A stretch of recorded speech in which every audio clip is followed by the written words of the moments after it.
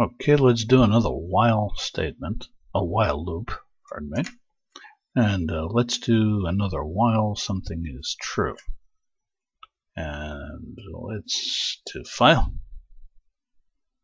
and the window. Oops, that window got way too big. Let me make that smaller,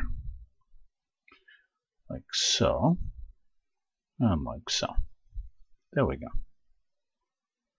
Now let's key in our code. I'm going to say that while the following is true, while this while the condition is true. Well, I haven't stipulated a condition. I just said while true. So this is going to keep going possibly forever if I'm not careful. So I can wind up in an endless, infinite loop if I make a mistake. So if you use this method, don't make mistakes. x equals input. I'm going to say key in minimum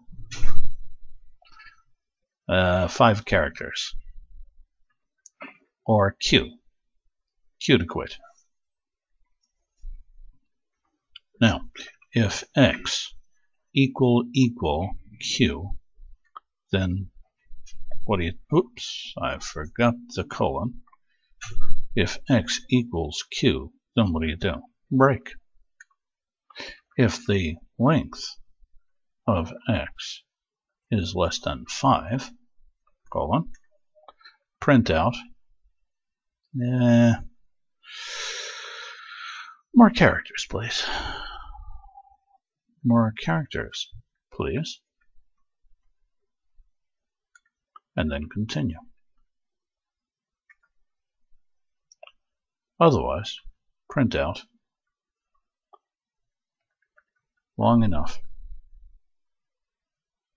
And that's it. That's my program. So as soon as it's As soon as I key in the letter Q, my program's going to break out of this while loop. All right, that looks good. Let's save this program. File.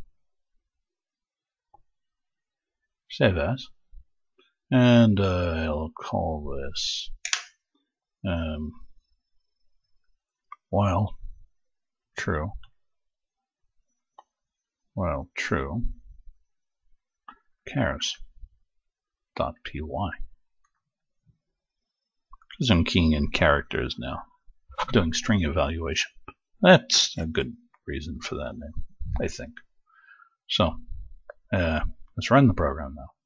Run, and run module.